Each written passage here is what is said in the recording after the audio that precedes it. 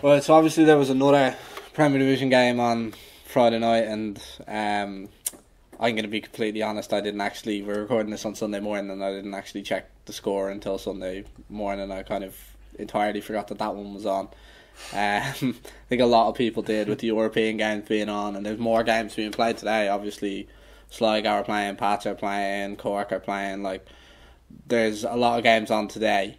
Yeah, Cork, Um, Pats and Sligo there. Yeah. So we'll kind of just quickly brush over Drogheda's 2 0 loss to Finn Harps. Um, big win for Harps. Yeah, huge. Drogheda was Danny Morrissey and Eddie Dezane with the goals. Yeah, it was important for them. Like uh, both teams are kind of, I think, going through like a little bit of patchy spells. Drogheda seemed to be in a little bit of disarray. Players like leaving Gareth McCaffrey earlier on in the season. Now Killian Brennan, a couple of others. Uh. They brought Sean Russell in today, so that might breed a little bit of air. Like I, th- I think things seem to have gone a little bit stale there. Yeah. Uh, it it just seems that way, you know. It, it's probably I'm sure there's a lot of bad vibes and that ever since the big defeat to Dundalk a couple of weeks ago in the now derby. It, it just doesn't seem to be going well for Drogheda at all at the minute. Um, then obviously with UCD at times you kind of you were down that end of the league and stuff like that and kind of struggling. Um, what's it like to be in a dressing room where things just aren't going right? Um, well, depend. UCD is very different to anywhere else. Um, UC because you have no expectations and most of your players have little or no experience of league. Yeah. So when I came into league, we were obviously fighting relegation, but when you do get a result, and Josh, you know himself, Josh was around it. When Yeah. you do get a result, it's a lot bigger when you're at UCD than any other club I've been to. Yeah. When now when we win a game, it unless it's obviously if we beat one of the big boys, Yeah. it's kind of just done and move on to the next one. Where I used to, be, I remember just lads were just buzzing for days and Yeah. even. Yeah. But obviously, next game comes around and you can lose five 0 to Derry up in Brandywell, and Yeah. you know have to pick it just yourself up and yeah, it's just it's different. A week makes in football is amazing. Like um, but I think it's just yeah. When you're down that band league, it's just everything always seems to go against you. Yeah. And I know my first year at Limerick, obviously we didn't win for twenty something Yeah. games, and then all of a sudden we won. I think it was eight or nine out of the They last went on a twelve. Mad run. from Yeah, the end um, of the so I don't, and even that I, cou- I remember, I remember doing people asking me what, What's what going clicked on? or what happened, what made a difference, and I, thought I, it purely was based on getting that first win, and I Yeah. think we brought it. Martin brought in one or two players, but I don't think that made a difference.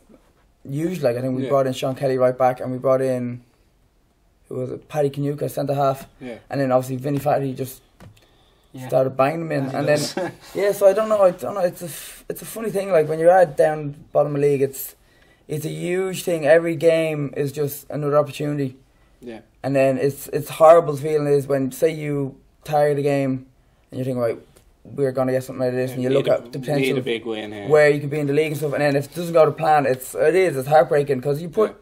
I know when fans come and they see it, but at the end of the day, the players are working towards this all week Yeah. and this is your job. Like, so you're thinking, right, everything going in this, it's kind of is all eggs in one basket thing, and then it is. It really is hard to take when you things don't go to plan, but vice versa when it does, it's unbelievable feeling. Yeah. What have you made of both Harps and Drogheda this season when you've come up against them? Um, well, Drogheda, we've beat them now. We beat them three 0 at home and two 0 away, and to be honest, like I, when we played them the first time, I remember thinking these are going down. Just. I didn't see anything, no, no spark about them. Yeah. the lads, I know, I think they did have an alright dressing room at the time. I think they all got on well. Yeah. But I saw a completely different thing there during last week when we played them, beat them 2 0. They just, they were just arguing with each other. They had no, no real kind of character jumping out in terms of they yeah, wanted to win. no kind of no leader really stepping up and when yeah, I, mean, are arguing with each losing other. the likes Killian Brennan, Gav Brennan's not playing. They're experienced players that aren't kind of there around in the dressing room. Um, and I think they would have pinpointed Finn Harp's game as a must win for them. Yeah. Um, and I can just see them dropping more and more and more because unless they do have a huge turnaround, Yeah. I don't know where it's going to come from, but I can't see it ending too well for them just because based on what I've seen them from. Yeah. Josh, then with Harps, obviously, kind of Ollie Horgan is there, and he seems to maybe at time, maybe at times, and I've seen it with them, they seem a little bit naive tactically sometimes. But my God, does he get some heart into a group of players up there at times and get them up for games? Like he seems like a man who just he loves the group of players he has there, and how important is that for a team who are down that end of the league? I'm an absolute huge fan of Harps, a huge fan of Ollie, Ollie Horgan, always have been. Uh, I know the football might be the prettiest to watch at times, but when Finn Park, I know it doesn't happen often, but when that's packed, Yeah, when Ollie Horgan has them up for it, they they will literally go out and die for that club. Like I know it's a cliche in football, but they're the one team I've seen that will, will just not stop doing anything for each other. Been involved in promotion races against them so. It's horrible to go up there Yeah. and play them. yeah. But my God, are they brilliant? And at this stage, I'd, I'd be fairly confident that they're gonna stay up. In that well when you're in that scenario like when you're down and kind of in relegation scrap as such like harps are how is it actually more important to have that type of figure in there whether it's a player or a manager or just someone around the club to kind of just motivate you and get you up and make you really feel like this is more important than just the 11 lads out on the pitch and stuff Yeah, I don't know. Like Finn Harps are a funny one because they have, I think, what no one else in the ha- league has, Yeah. and that is a home fixture that every single player in the league hates. Yeah.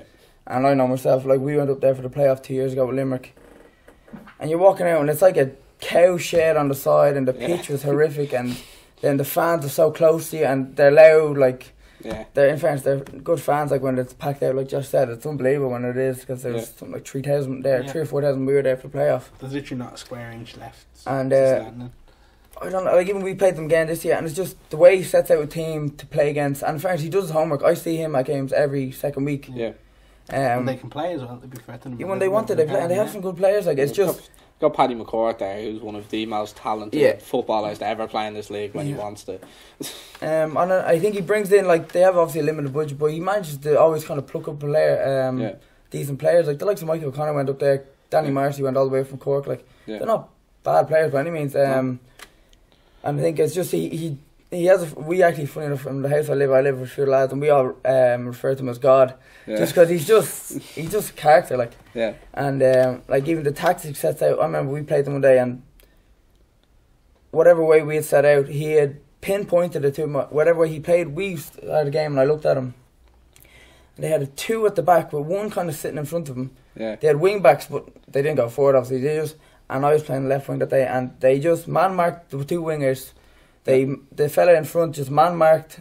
I mean, if you were trying to get away, they were holding you, and Yeah. they just wouldn't let you didn't get an inch like. yeah And it was just he obviously sets them up and he goes game by game and I don't think he'd ever go and kind of stick to one tactic every week. Well, there's not a chance he does Well, because they um, actually, um, I watched them. They're on TV against Dundalk a few about six weeks back or so, and they played really well in the first half. And they played a similar enough formation where they'd like two lads at the back, one fella sitting in front of it Mm. trying to pick up McEleney. The two wing backs kind of pushed up right on the wingers, and then just flood the midfield area with basically everyone else. and probably play off set pieces. Is it? Yeah, Yeah, pretty much. but if it's effective because like I think he is. He must have one. Of the, sm- well, I don't know what his budget wise, but he must find a hard I, to I players. I think they do have the smallest budget Yeah. in the Premier Division. and he must obviously find it Fit hard. himself to draw. Yeah, And he has to find it hard to attract players up there because it's just it's a long way for most a majority of players based in Ireland. So Yeah, the Like, only kind of doing the only kind of part of the country you'd really see lads who you could go right, we could recruit them as maybe lads who aren't really getting in at Sligo or lads who aren't getting in at Derry maybe. yeah, But other than that, I say Danny Morrissey going up from Cork and stuff like that. That's a and, novelty. Uh, I'd love to know how that one's yeah, and um, Kieran O'Connor going up from Dundalk. Obviously, he's on the Bohs. yeah, now, he's gone to Bohs Yeah. now for the second half of the season, which will be a loss for him in the second half of the season because he's their top scorer. But um, yeah, for him to be able to attract players, there must be something about him. Um, so we'll move on to the next kind of point we have, and that's Bray. And they've been saved for what seems like the 15th season in a row now where they've nearly gone out of business. As a player and as a player in the league, would what's happened to Bray this year and what kind of seems to consistently happen with Mhm. Bray put you off ever kind of going near that club as a player, even though to you it's quite local to where you are, where you're from? Well, know, it's, it's a horrible situation for any player because Yeah. I know for a fact those boys have been told obviously this week, oh look, everything's okay. But a week ago, they had no idea that it was coming or that anyway they were going to be financially stable for the rest of the season because they were all 100% sure that that was how it was going Yeah. to roll out for the rest of the season. Yeah, um, Josh. Obviously, we did a video about it uh, on Monday, myself and Cormac, and that. Um, it was at that point looked like it was done, and that Yeah. was it, dead and buried. but now they seem to have been saved again. I know you have strong enough feelings on it. Um, do you think this is obviously for the players and the staff? It's a great thing because they still have a place to go to work tomorrow. But as someone involved in the league, do you think this is kind of maybe once too many for Bray and one too many chances? It's, really disappointing. It's it's disheartening when you're actually involved in the league and you know you're, you're trying to do work around around another club. It just means you're just thinking, are there a lot of people in this league and involved in the administration and stuff that aren't doing their jobs right? Why should I bother? Do you know what I mean? Yeah. It's it is really disheartening that like a club like right like I haven't had any dealings with this Bray club. I know the last Bray, Pat Devlin stuff, great club, Yeah. brilliant people to work with, but it it really is. It's it's almost That's the political answer because you're working for Pat now. That's exactly what that is. yeah, he definitely didn't pay me to say that or anything. Yeah. But uh, no, it is. It's it's it, it's really disheartening because, as I said, we need to have a league where everything's transparent. Everyone knows what each other's doing. Not not paying players an absurd amount of money a week for the League of Ireland and not actually being hundred percent sure that you're going to pay be able to pay this from week one to week fifty two. Yeah. Um, would that be the most important part? Well, maybe not the most important part when you're choosing a club for yourself. So, say when you were leaving Rovers, Mm. if you had an offer of two or three different clubs, saying one was Limerick and maybe one was Bray and somewhere else, that you look at it and go, right, well, they're all Premier Division clubs, they're all around a similar level. So, which one for me is the most financially stable one where I feel like I could go there for the year and I'm not Yeah. going to have to worry about not being paid? Well, funny enough, I had that decision at the start of the year between Bray and Limerick. Okay. Um, and I was talking to them, even people from PFI, and they just said to here, Dean, I don't know where that money's going to last and could Yeah. come from. And I was thinking, I don't want to, because even I saw it a couple of years with Monaghan and then whoever else involved, and I was actually thinking, what, imagine being involved with that. I was actually I'd um been kind of within Monaghan towards the end of it. I've a good friend of mine is the, was the goalkeeping coach Mm. up there, and I remember seeing that every week when they were being paid afterwards. Yeah. And it was maybe twelve lads were being handed envelopes, and then five or six more just didn't seem to be handed one, Yeah. and you're kind of going, Yeah, "There's going something on? not right here." And then even meeting their under 19s coach in Poland, Mm. um, the day that they went out of business, and he didn't even know that they had gone out of business. Yeah. I actually had to tell him that his club and the people he worked for had gone out of business. There you go. Like, and I, I even know, like, the lads all found out through text today, like. Yeah.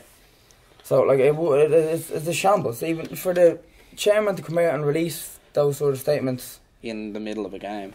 It was at half time of the Dundalk class. I mean, like, it just, it's just, it's. What way? It makes no sense even to do it that way. I mean, Yeah. there's right ways and wrong ways to do this sort of stuff, and they just.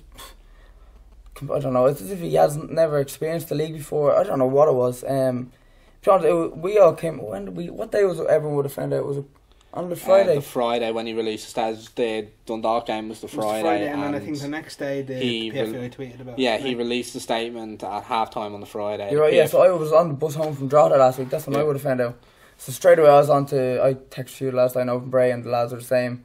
yeah. And they they're all like, "Oh man, it's heartbreaking to hear. Like it's literally Yeah. devastating." Because at the end of the day, imagine you were told next week here, look, you're not gonna have a job. Yeah. And it's such a specific kind of title where you can't just.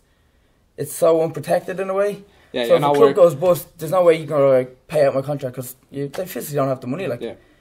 um, so I don't know. Like, I'm, I'm actually I'm delighted now. I did make that decision Yeah, because even if it is now all right for the rest of the season, to go through that in the last couple of weeks is just horrible. Like, and there's some top players in that like There's team. they're Like, third for a reason. They're not fluking away to Yeah. third. Like they have a very strong squad. Lads like Gary McCabe and Anto Flood and Aaron Green, Mark Salmon, Buckley.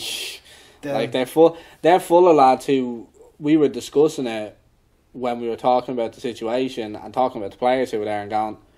The vast majority of these lads are going to get Premier Division clubs if they go out. Obviously, the big problem for those players was, and would that, f- if you were in that situation, would that be the scariest part of it? That you're probably feeling yourself right. Well, I'm good enough to play in the Premier Division. I'm good enough to get another club. yeah. But that a lot of clubs probably don't have the budget at this point of the season to bring another player in. But I wouldn't even say it's not even. I wouldn't say the players are worried too much about getting another club. It was more about the logistics. So, say right now I'm now living in Limerick. Yeah. I would now have to move everything back to say I happened to lose to Limerick, Yeah. and I say I end up signing for Bray, I would now have to move everything back and move kind of my life for the year, Yeah. like even my girlfriend and stuff who's not based in Dublin either. So Yeah. like everything would just be, and I think like if you're looking from the outside out, you think ah, it's grand, he just walk into another club, but you have to kind of think of the personal life of someone. Especially For- the League of Ireland. Someone like I don't know off the top of my head, um, one of the boys that's from Dublin, like Stephen Beattie now is Yeah. living in Cork. Say now he would have to up his life and change and move back to Dublin, like. Yeah. Um, so I think it's just it's it's very easy for people just to think of the one side of it where it's purely football based. Yeah. And think obviously these lads are some of them might even have jobs as well. Like I know lads playing with Bohs all work as well. Well, I know, like, we know personally know Gary McCabe. Like, Gary McCabe's a, what, Lucozade rep, Yeah. isn't it? Yeah, he worked for there you go, yeah. during the day. So, like, if he had to go and up and move to. Obviously, he's a top player and he'd get another big club. But if he had to up and move to Cork for the rest of the season. Who obviously, but even like us, we all would Yeah. train mornings. So then, like lads have to sacrifice that sort of thing. So it completely can change lads' lives, and even that sort of situation in the league disrupts the whole league. Yeah. Because we are looking at us right, and we've beaten Bray twice this year. Yeah. And teams ahead of us have actually lost to them.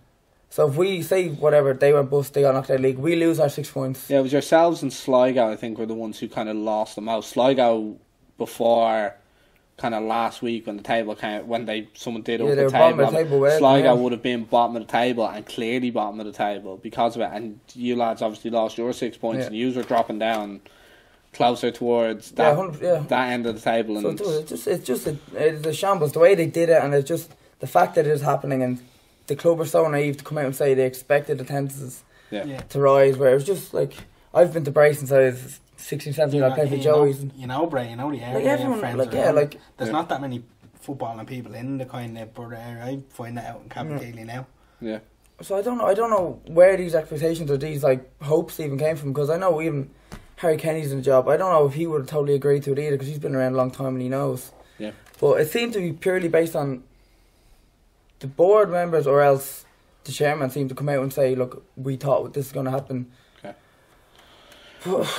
I know. I think it's, it's everyone looking in is just looking at what a typical league. Of, and say something from the outside you're trying to track. Yeah. yeah.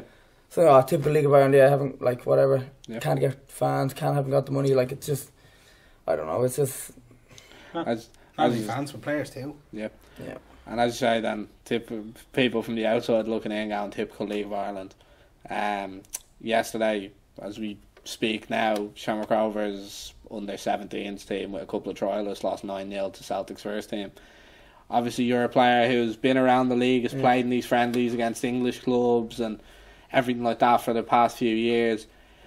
Obviously, it brings in a good amount of money for Rovers yesterday, but as a player to play in one of them games or to even not be involved in one of them games like most of the Rovers first team where does it actually do anything for you? Because to me, as a fan watching it and as a Rovers fan, I was absolutely embarrassed with the way that Rovers dealt with the entire thing and what they built. A Celtic team who, let's be fair, if Celtic were to lose in the Champions League in a couple of rounds' time and Rovers were to keep winning in the Europa League, they could quite conceivably draw each other in the Europa League playoff round.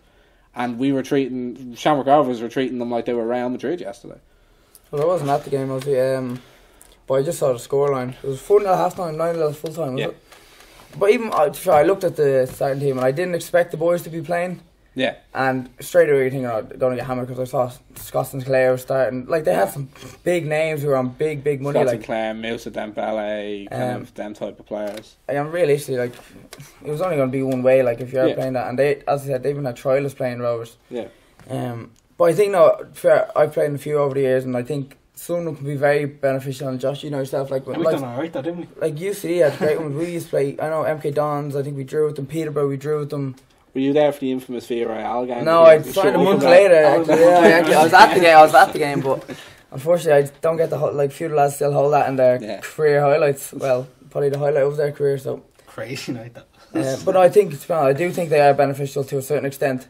Yeah, The likes of when Rovers played Liverpool a couple of years and sold out to Viva. yeah, Like financially, that's a huge benefit to Rovers, but maybe not for the lads. Like it's a good experience for the lads as well to see the different level. Yeah.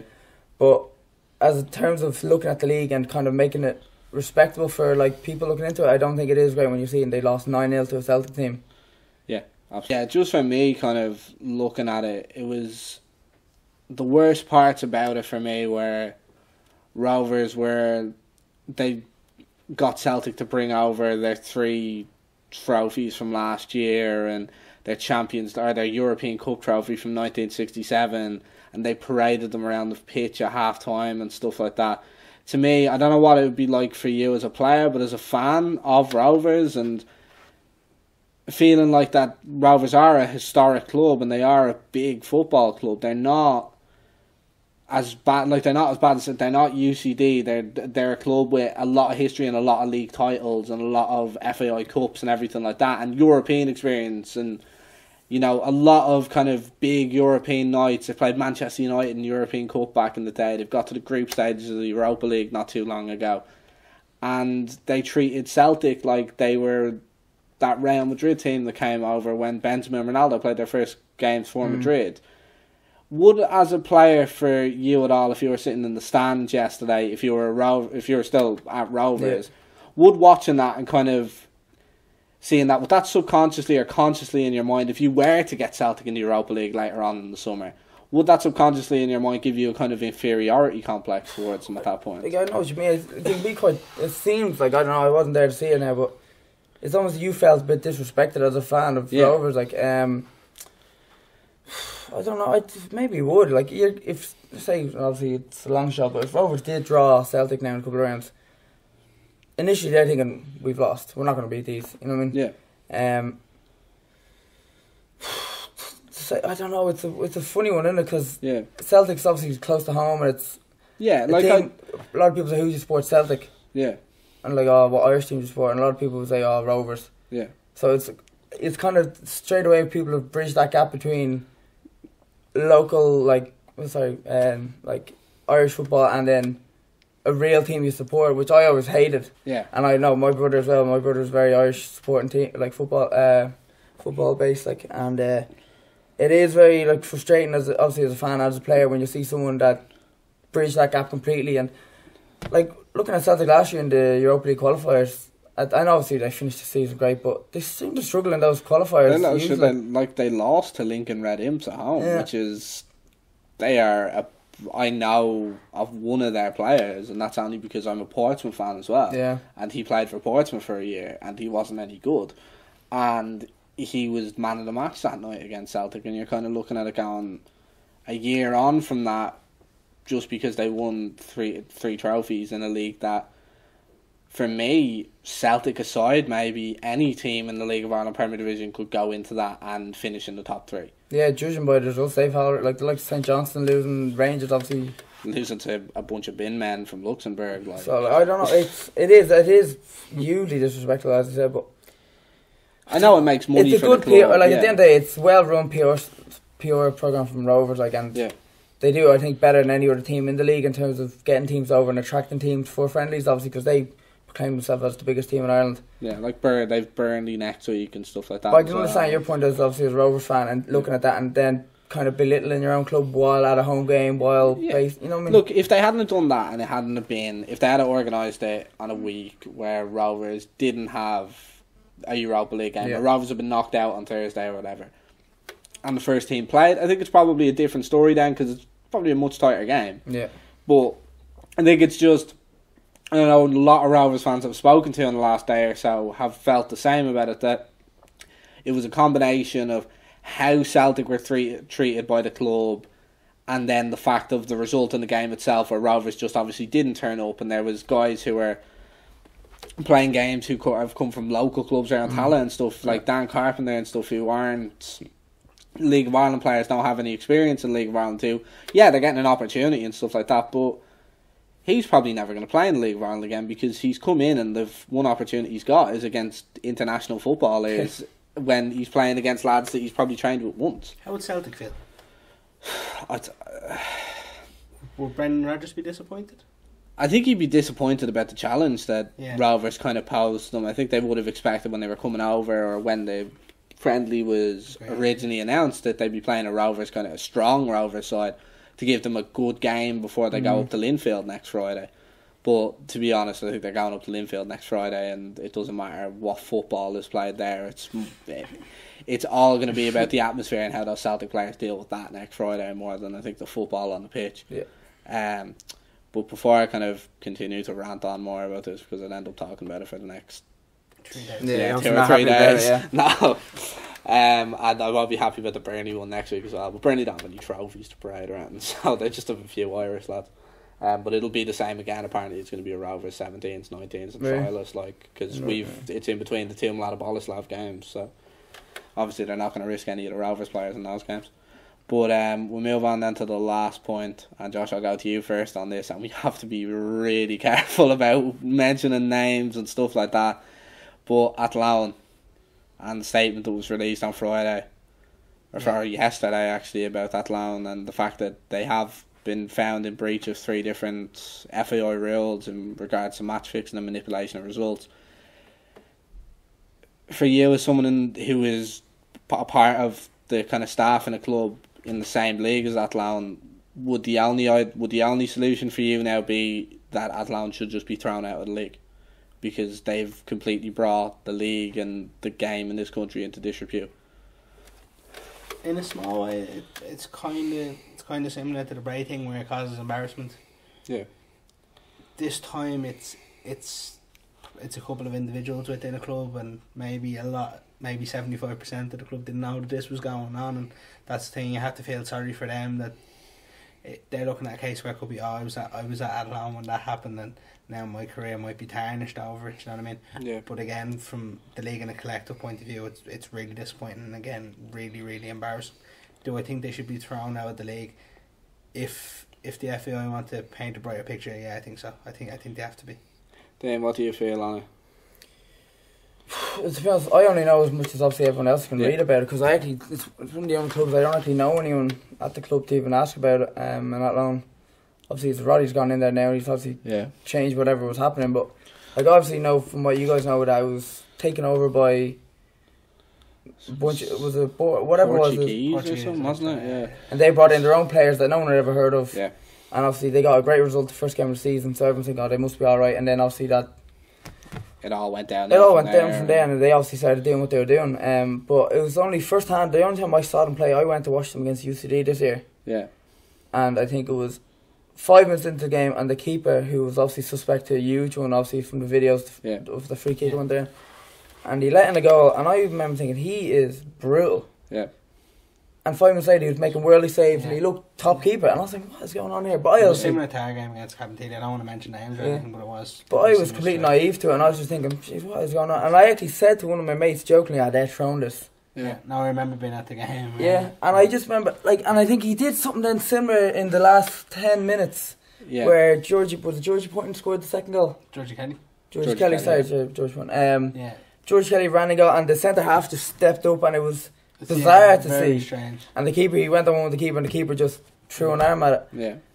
and it was just not that they'd thrown the game in the way I was thinking, but I was thinking they either don't give a shit or else Yeah. What's going on here? what's going on. Like it was actually bizarre, and obviously UCD, obviously when you're playing against a team and you when you're playing against a team and someone does a mistake, you don't think that they did it on purpose. You're thinking, oh, thank God, yeah, I, I Yeah, benefited from and I'm probably going to target him again now because he's kind of maybe his head's gone a little bit. Yeah, it's just go little things like that. Like if you're a player, yeah. you get the better of someone. You're not going to think, oh, it's because he did something wrong. You're going to Yeah. think, oh yeah, Yeah. it's because I did great. Like Yeah. like uh, even Gary, I think Gary O'Neill scored the first goal. He must think, oh yeah, that was a good shot for me. Yeah. But like.